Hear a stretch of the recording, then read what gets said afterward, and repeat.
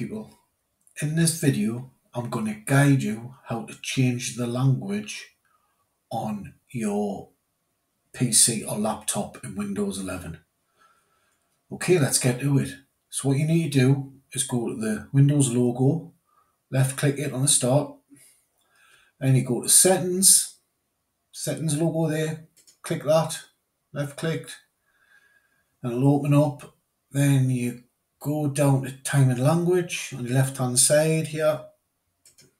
Press that then you can change obviously your date and time if you want to as well. And you click on language and region. And there you have it. What you need to go to is click on preferred languages add a language. So you can change it any one you want there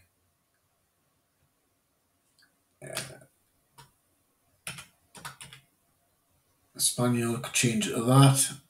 Anything you want. Easy as that.